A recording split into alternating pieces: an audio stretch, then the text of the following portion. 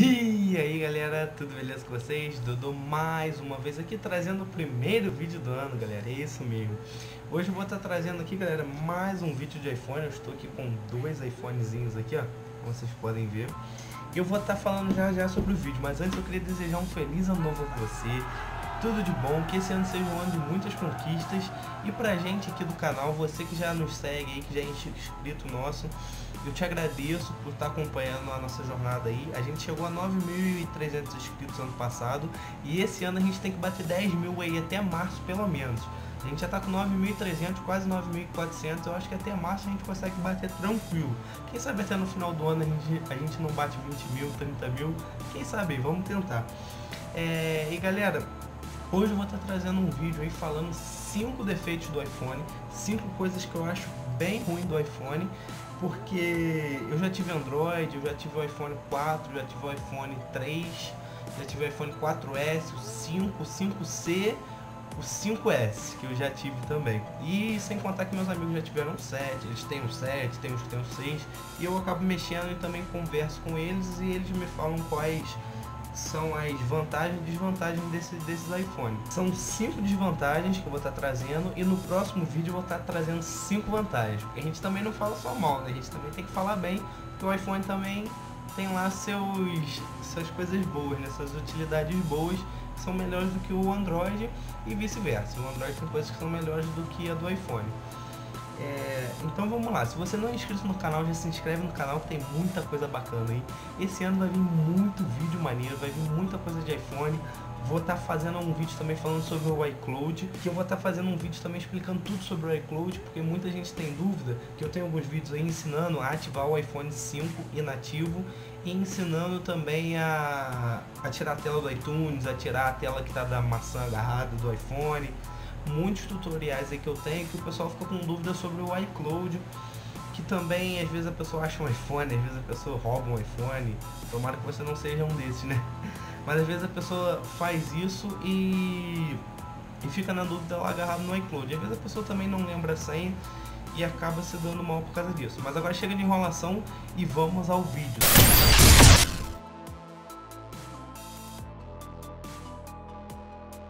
Então, galera, para número 1, um, eu trouxe aqui a primeira que é a atualização do iPhone.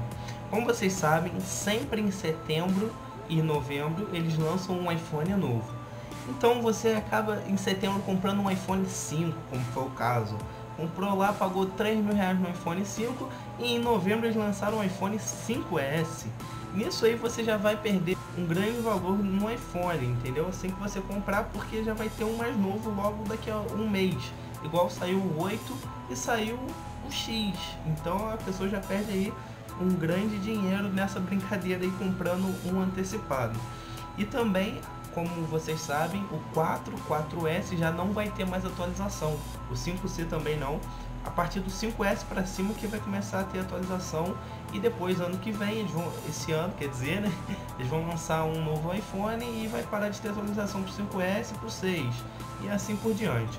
No Android eles também param, mas no caso você pode instalar outro sistema, o sistema Android de outra fabricante atualizado no, no seu Android. Isso é o bom do Android. O iPhone não tem como, porque o iOS é próprio da Apple e a Apple não abre o código do, do iPhone para ninguém atualizar, ninguém lançar outra, outra versão do iOS.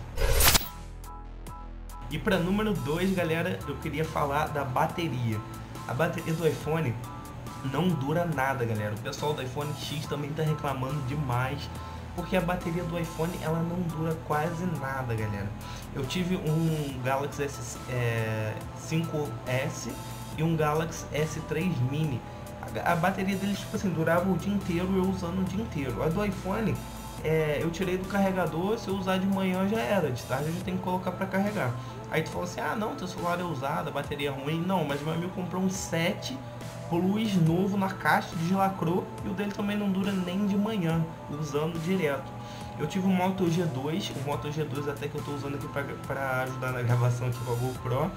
É, ele dura a bateria o dia inteiro também, trapa pra cacete, mas é, uso o dia inteiro e a bateria dele ainda dura pra caramba.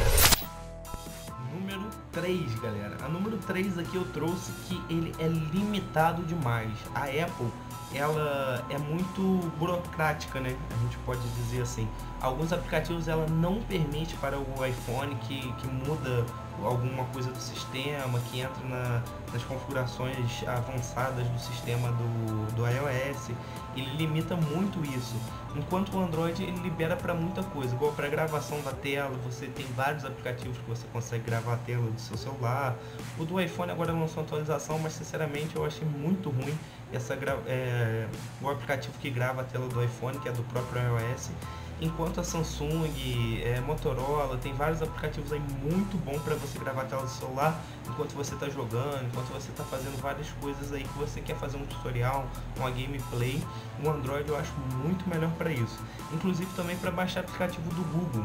Direto do Google você vai lá e pesquisa, ah, sei lá, TubeCat, você consegue, nem sei se tem para celular, mas enfim, você consegue ir lá baixar o APK e instalar. O iPhone já não, não deixa isso ele é muito limitado quanto a essas coisas. Igual a senha dele, ou é digital ou é ou é número.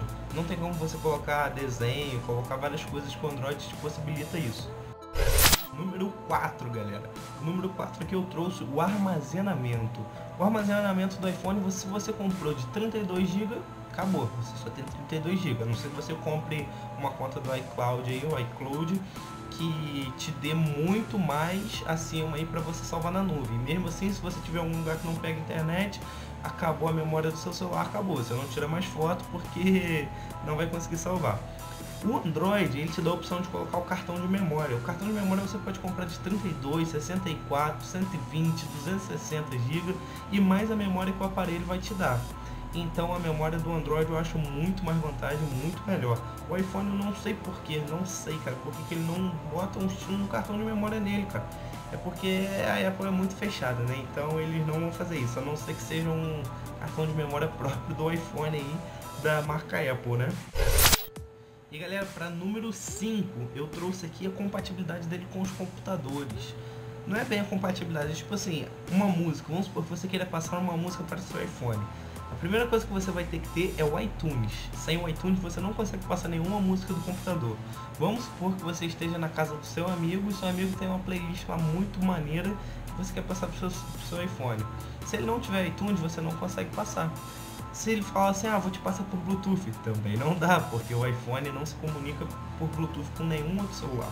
Eu sei que existem vários métodos aí, através do WhatsApp, você pode enviar vários, tem uns aplicativos que fazem isso, mas o, o iPhone em si, ele não faz isso, não tem como você colocar simplesmente no seu computador e copiar as músicas e colar para ele, não tem como, você tem que sincronizar, fazer uma série de coisas para poder passar a música pro seu iPhone. É muito burocrático essas coisas, por isso que eu falo que a Apple é muito burocrática, acaba sendo bom às vezes para segurança, mas para outras coisas acaba atrapalhando muito para o usuário. Então, galera, essas foram as 5 desvantagens de se ter um iPhone. Estou aqui com os dois iPhone 5S. Essas são as 5 desvantagens no meu ponto de vista. Eu acho essas 5 coisas muito ruins no iPhone e que me fazem simplesmente perder a vontade de ter um iPhone. Não percam que eu vou estar lançando 5 vantagens de se ter um iPhone, 5 coisas que eu acho muito boas de ter um iPhone então já se inscreve no canal, já deixa o like aí pra quando chegar mais vídeos aí você já ser notificado. Porque eu vou estar tá lançando aí 5 vantagens de ter um iPhone e vou estar tá também lançando outros vídeos aí com, sobre o iCloud, sobre também como comprar um iPhone bom usado em 2018, você não se enganar, não comprar um falso e várias outras coisas aí. Eu quero chegar a 10 mil inscritos, galera. Até março, galera. Vamos lá, hein? Quanto com vocês? Valeu!